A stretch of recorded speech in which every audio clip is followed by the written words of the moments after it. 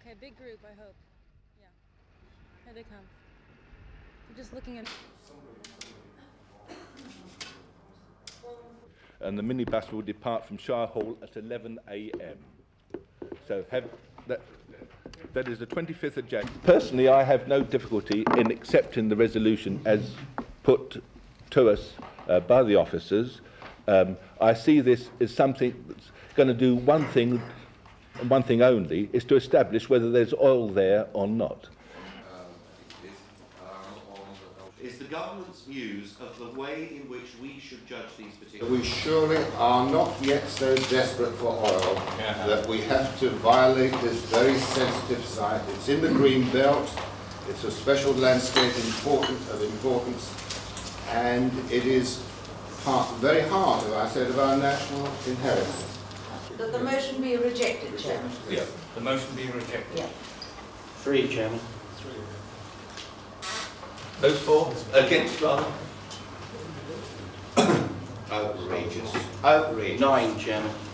Well, my fear is the fact that this is just a thin end of the wedge, and that if oil is found, as it probably will be, uh, they'll want to get it out. They won't want to just leave it there, having spent all this money on, ex on exploration. Uh, 100 million barrels of oil has been mentioned. That's an awful lot of oil, an awful lot of money. And the company is not going to leave it there. In my opinion, they're going to pull every string they can to get it out.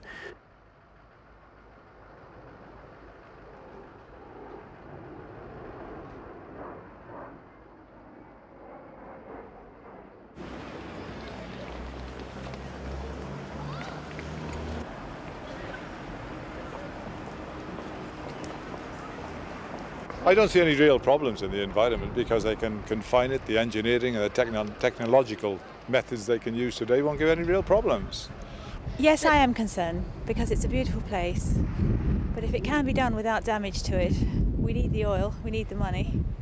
I think it'd be dreadful because it's just some way of making money and it'll ruin the whole castle and it'll ruin it. If there's any sign of commercialism, like uh, drilling for oil, I think that would be a pity.